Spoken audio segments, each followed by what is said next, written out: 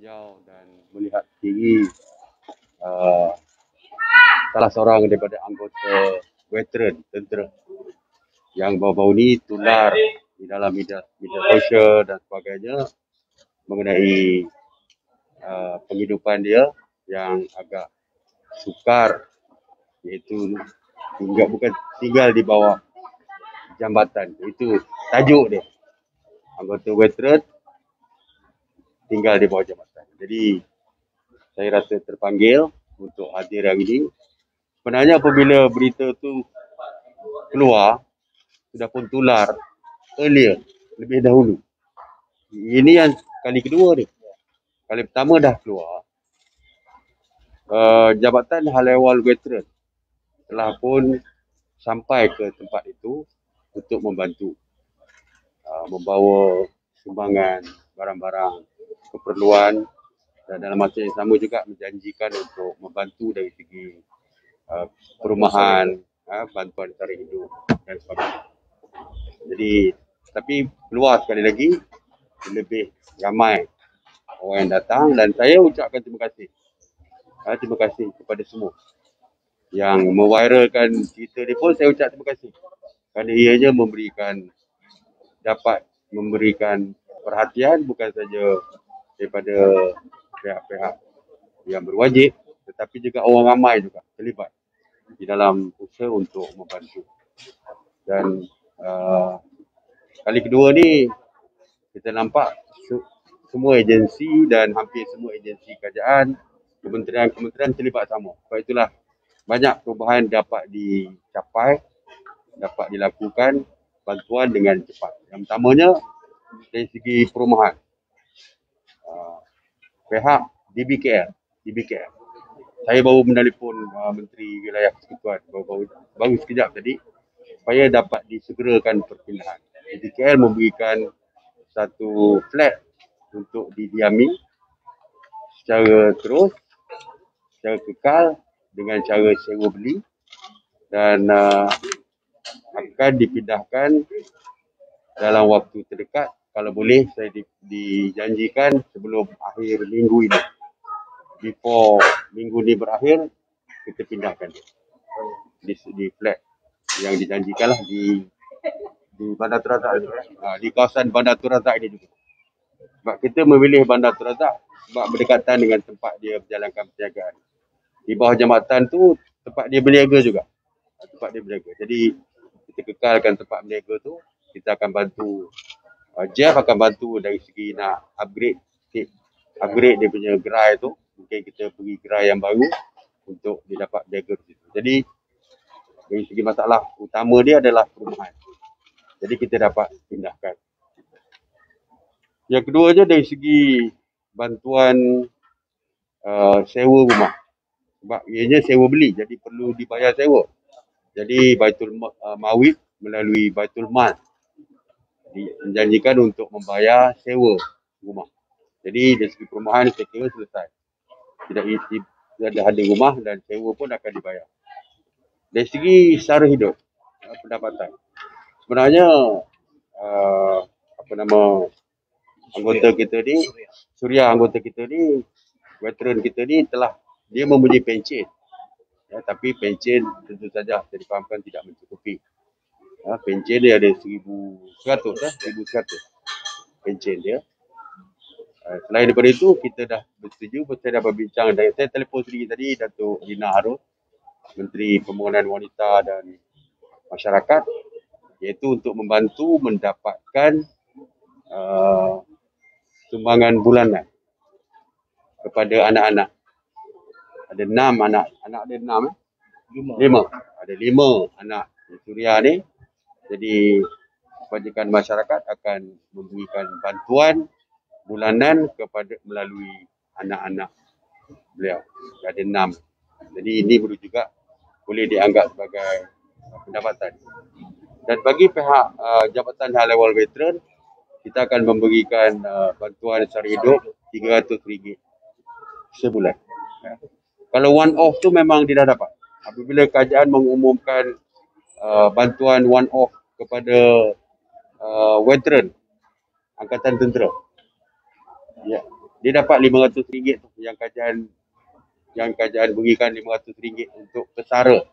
Dia dapat RM500. Dan uh, beliau juga penerima uh, pingat jasa Malaysia. Jadi kita juga memberikan one off sebanyak RM500 kepada uh, apa nama veteran kita Suria. Jadi perkara yang saya sebutkan itu saya percaya dapat membantu mengurangkan bebanan dan uh, banyak lagi perkara lain yang yang berkaitan dengan dokumentasi anak dan sebagainya akan kita bantu untuk selesai. Jadi saya harap selepas ini tidak timbul lagi isu. Cuma saya nak minta kepada veteran-veteran Angkatan Tentera. Jika menghadapi kesukaran seperti yang dialami oleh Cik Surya ni terus berhubung dengan Jabatan Hal Ehwal Veteran ataupun JEF. Ya, supaya nasib mereka dapat kita bela. Begitu juga kalau boleh cuba hubungi cuba hubungi persatuan veteran di daerah masing-masing. Sebab setiap daerah akan mempunyai persatuan-persatuan veteran. Jadi sila hubungi persatuan veteran di daerah masing-masing supaya perkara ini dapat diangkat ke lebih tempat lebih tinggi iaitu uh, JEF Jabatan Level Veteran peringkat negeri ataupun peringkat persekutuan. Jadi kalau tidak kita ada lebih kurang 300 ribu veteran yang bekas anggota tentera ni berada di seluruh negara dan walaupun pendaftar walaupun tengah hanya berdaftar tetapi ada 80 ribu lagi yang masih belum berdaftar dengan Jabatan High Level Veteran.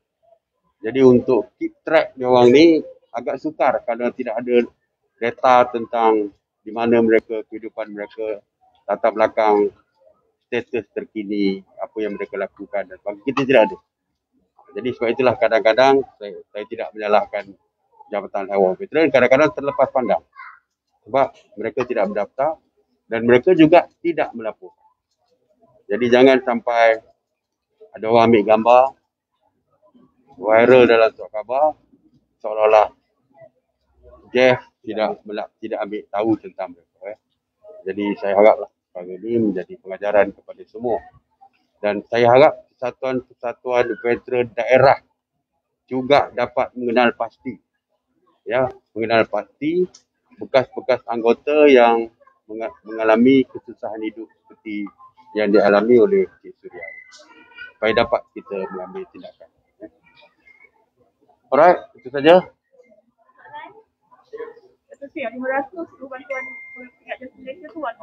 One off. One off. Lima ratus ya.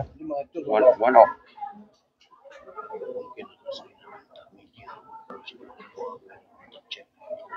Thank you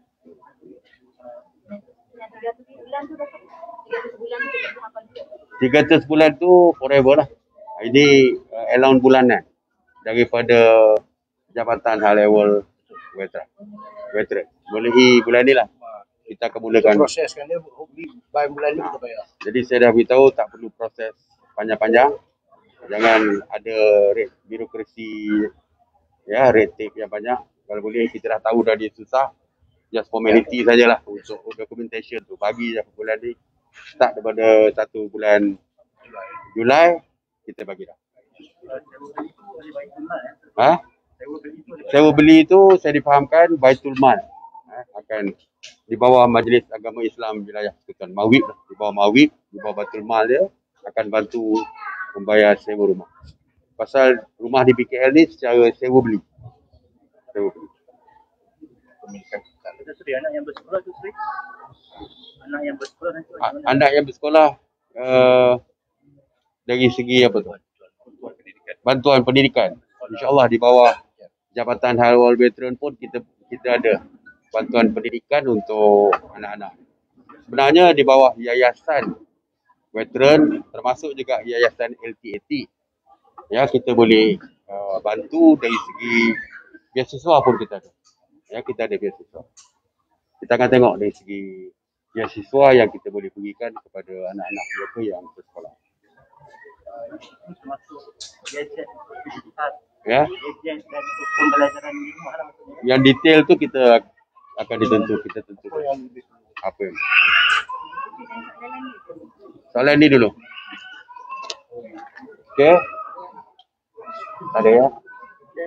Ap- nak tanya ketika ini kan uh, anak-anak pun walau ada PCR kat rumah jadi ada ibu bapa yang merungut kan. Nak macam hantar komputer pun macam YouTube dan ada alat-alat tu jadi susah nak beli. Jadi macam mana Ya, setakat ni kita masih lagi menutup kedai-kedai buku, kedai komputer dan sebagainya sebab pasar satu.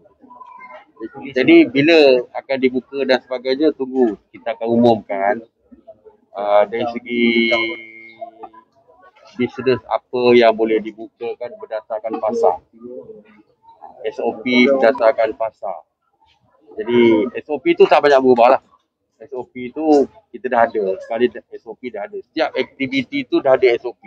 Jadi kita tidak akan umumkan tentang SOP SOP lah. Pasal SOP tu sama sajalah. Kita dah lama dah. Tahun lebih dah kita dengan COVID ni. Jadi SOP tu dah ada. Jadi kita tak umumkan. Semua orang dah tahu dah. SOP basic tu semua orang tahu. Cuma kita akan umumkan dari segi uh, aktiviti, bisnes, sosial, sukan, apa benda pun berdasarkan pasar. Misalnya sekali pasar satu. Pasar satu kita semua tak benarkan. Pasar dua mungkin kita ada sedikit pelonggaran. Ha, tapi apa jenisnya akan kita umum lah. Kenapa rumusan ni ditanya sih sebab nak buat aktiviti Tahu, tahu. sekolah. Tapi sekali sekarang ni belum lagi kan. maksudnya belum lagi Belum lagi. Kita tunggu pasar lah pasar. jadi Pas, untuk ni pasar tu berapa tu uh, now pasar satu. Kita kata yang pasar dua kemungkinan lah. Di pasal dia kena ada tiga syarat tu. Syarat pertama dari segi jumlah kes. Kalau jumlah kes positif dah menurun, uh, kurang daripada 4,000, dia, dia di bawah kategori pasar dua. Tapi itu salah satu daripada syarat. Syarat keduanya dari segi jumlah vaksin yang telah diberikan dan syarat ketiga dari segi jumlah katil ICU. Dia ada tiga syarat. Kalau syarat itu dipenuhi nanti kita akan umumkan kita berpindah ke pasar dua. Kalau pasar dua, ha, mungkinlah. Dapat tunggulah pengumuman mungkin kedai buku ke kedai komputer ke akan dibuka dan sebagainya itu akan kita tunggulah. Tapi pasar dua pun bukanlah bebas terbuka. Tapi mungkin hampir sama juga dengan pasar satu ke. Tapi mungkin uh, kedai-kedai tertentu yang penting. Seperti kedai buku alat tulis untuk pembelajaran komputer mungkin akan dibuka. Jadi tapi tunggu. Itu dalam pasar dua lah. Ah, itu dalam dua. bukan perancangan pasar dua lah. Lepas tu pasar tiga tu lain lagi. Pasar empat tu kalau uh, vaksin tu dah hampir menyeluruh. Uh, komuniti berkelompok telah pun berlaku di pasar empat. Jadi itu mungkin kita dah Maksudnya walaupun merungut macam mana pun tetap kena tunggu kes kena turun. Uh, fasa dua ni buka dan kena ikut SOP untuk mana? Uh, untuk yang ibu bapa yang merungut sebab bila buka Ah, tak buka saya pun tak kata kedai buku akan buka. Cuma saya bayangkan iaitu pasal dua ni ti- ada sedikit pertimbangan. pertimbangan pelonggaran-pelonggaran ya. Tapi tiga syarat tu mesti dipenuhi. Ya, dari segi pesan peratusan vaksinasi kes kurang daripada 4000 dan katil uh, ICU sudah pun uh, kurang dari segi uh, penggunaannya dah semakin berkurang. Tunggu kita umum lah. Saya ingat dalam minggu ni lah. Petang ni ada meeting untuk final, final lah, untuk kita finalisekan benda ni. Uh, perkara ni dan mungkin besok atau lusa kita ada. UMNO. ah, jadi uh, kan UMNO beri masa 14 hari balik Ya. kerajaan. UMNO beri masa 14 hari balik kerajaan untuk mudahkan buka balik parlimen. Kalau tak akan bincang untuk tindakan keluarganya. Adakah tindakan itu untuk balik keluar dari kerajaan? Tak ada. Kita kita tak bincang. Kita kata UMNO UMNO menjunjung titah yang Tuan Agong iaitu uh, perlu disegerakan parlimen. Ya, ingat tidak ada tidak ada percanggahan pandangan pun dari segi pembukaan parlimen itu tidak ada penjanggahan daripada sesiapa pun di dalam UMNO.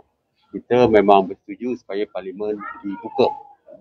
Tetapi secepat mungkin yang dititahkan oleh Yang Besar Agong tu di berbagai-bagai interpretasi lah apa maksud cepat tu.